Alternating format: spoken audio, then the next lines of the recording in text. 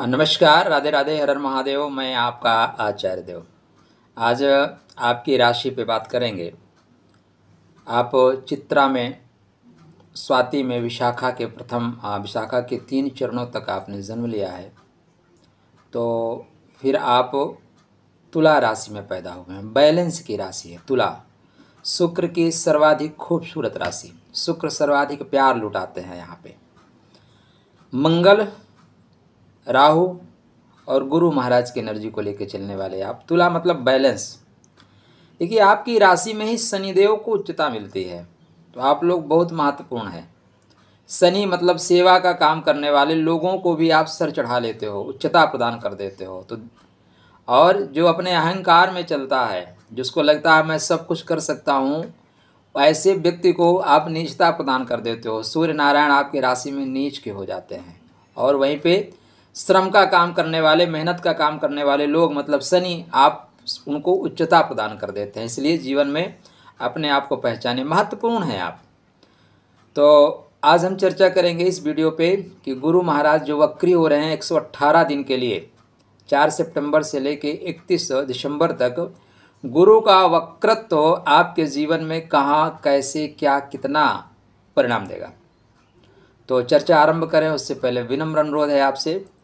कि आपने अभी तक हमारे चैनल को सहयोग प्रदान नहीं किया है सपोर्ट नहीं किया है कृपया चैनल को सब्सक्राइब करें। वीडियो आप देखेंगे डेफिनेटली पसंद आएगा। देखिए गुरु के वक्री पे आपको वीडियो यूट्यूब जगत में मेरे अलावा बहुत सारे वीडियो मिलेंगे। कोई डाउट नहीं है। कुछ लोग अच्छा भी बोलते हैं, इसमें भी डाउट नहीं है। लेकिन जितना डिटेल में मैं बता रहा हूँ, इतना डिटेल में आपको नहीं मिलेगा। इसको आप लिख के रख लीजिए। अगर कोई बताता है तो उसका लिंक ज़रूर आप मुझे भेजिएगा। ठीक है ना? वादा है। तो पहले हम गुरु का आपको विजिटिंग कार्ड दे देते हैं। गुरु हो रहे हैं वक्री।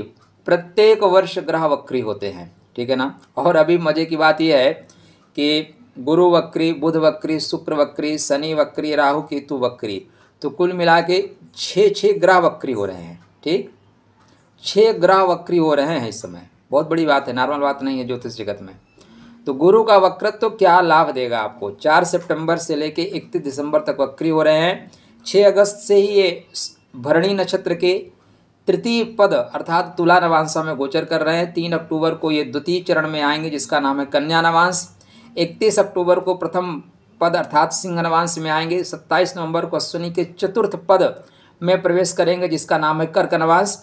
और 31 दिसंबर को यहीं पे मार्गी होंगे, कर्क नवांश में ही मार्गी होंगे। यह गुरु का विजिटिंग कार्ड है, ठीक? अब गुरु कहाँ कैसे चल रहे हैं, ये पूरा आपको पता हो गया। नॉर्मल जगह आपको क्या मिलेगा? चार सितंबर से लेके इकतीस दिसंबर तक गुरु हो रहे हैं वक्री, बस। देखिए, आपकी राशि पे कम से कम साठ से पैंसठ करोड़ लोग हैं। सबके साथ एक जैसे घटना घटेगी क्या? उत्तर आएगा, नहीं घटेगी। तुला राशि वाले ही कुछ लोग धनपति हैं और कुछ लोग बहुत कमज़ोर अवस्था में हैं। कुछ लोग बहुत सुंदर काम कर रहे हैं, कुछ लोग फ़िल्म जगत में छाए हुए हैं, कुछ लोग रील बनाने में भी मुश्किल आ रही है।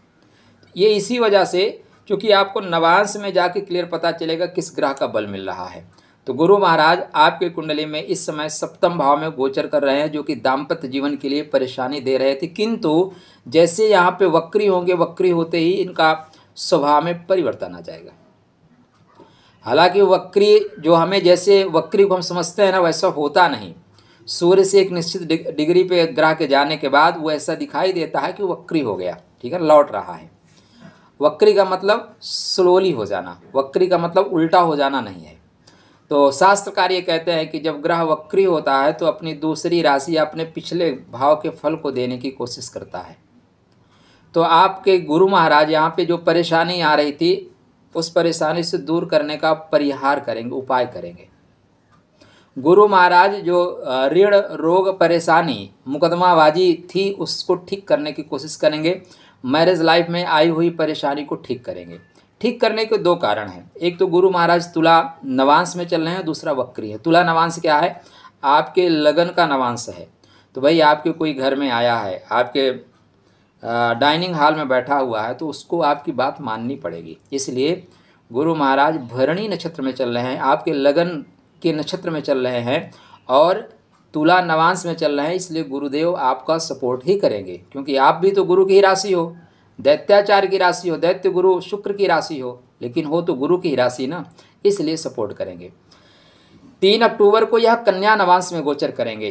तीन अक्टूबर को कन्या नवांश में आएँगे। कन्या नवांश क्या है? कन्या नवांश आपके विदेश का घर है। तो यहाँ पे आपको विदेश से लाभ होगा। देखिए, गुरु आपके खष्टेश हैं और गुरु आपकी कुंडली में पराक्रमेश हैं। तो पराक्रम की वजह से विदेश से लाभ होगा। पराक्रम की वजह से विदेश तक से लाभ होगा। या लंबी यात्राएँ जो होंगी, वो आपके लिए लाभकारी होंगी। अच्छा है। इसके बाद फिर वो आएँगे सिंह नवांश में। सिंह नवांश क्या है? आपकी कुंडली में लाभ का नवांश है। तो गुरु महाराज लाभ के नवांश में जाएँगे तो लाभ ही करेंगे। वैसे भी यहाँ पे गुरु की जो पाँचवीं दृष्टि है अमृत तुल्य दृष्टि, वो आपके लाभ के घर में है। तो पाँचवीं दृष्टि से लाभ देंगे। सातवीं दृष्टि से आपको महानता प्रदान करेंगे, बड़प्पन देंगे।